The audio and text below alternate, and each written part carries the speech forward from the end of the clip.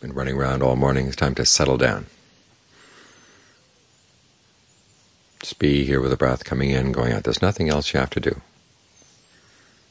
Let the breath surround you. Let the breath heal you.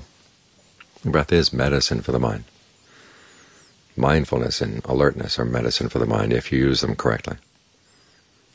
If you don't use them correctly, they can do a lot of harm. You can be keeping all kinds of weird things in mind and be keeping all kinds of harmful things, keeping focused on harmful things.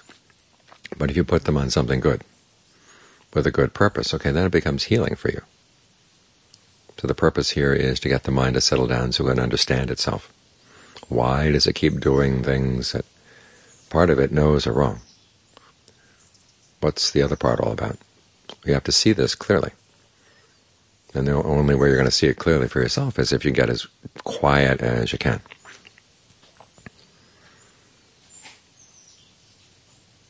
And also get the mind in a much better mood. This is part of what the healing process of the breath is.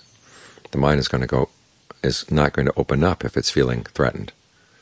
But if it's feeling at ease, if it's been feeling soothed, it's a lot easier for it to open up with itself and say, oh yeah, this is what I thought, and this is what I thought here, this is what I thought there. This is why I'm doing this. And you can sort things out a lot more clearly that way. Because all too often the really powerful thoughts in the minds are the ones that hide behind the shadows.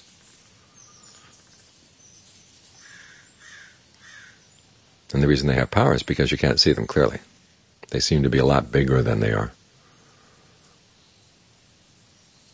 And they seem to not want to listen to reason. But it turns out all your thoughts have their reasons. And so you want to hear them clearly. So you create a good space for them to open up. This is what we do as we stay with the breath. Get the mind soothed, get the body soothed, and you'll see things that you didn't see before, and you understand what was going on in the mind. And when you understand it, you're in a much better position. But the first step is just to get the mind to settle down and just be here and feel comfortable here.